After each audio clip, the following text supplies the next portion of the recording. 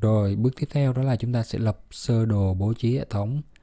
Thì như trên hình này, anh em có thể thấy đây là một cái mặt cắt. Mặt cắt nó thể hiện cho chúng ta những cái thông tin như sau. Thứ nhất đó là cái khu vực mà chúng ta lấy nước.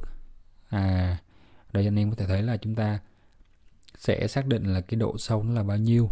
Sau đó là cái khu vực mà chúng ta đặt dàn pin này, đặt inverter rồi tiếp đến đó là khu vực mà chúng ta sẽ chứa nước. Thì các cái thông tin mà nó được thể hiện bao gồm là độ sâu này độ cao khoảng cách và vị trí của các cái thiết bị này. À, như vậy chúng ta xác định các yếu tố để chúng ta có thể thiết kế hệ thống. À, cũng như là chúng ta dự kiến cái đường ống dẫn nước nó sẽ đi như thế nào đa phần thì những cái phần sơ đồ bố trí hệ thống thứ nhất là cho chúng ta cái nhìn tổng quan về hệ thống. Và cái thứ hai là nó giúp chúng ta tính toán được cái cuộc áp cho hệ thống solar pump à, đó là bước tiếp theo là sơ đồ bố trí hệ thống.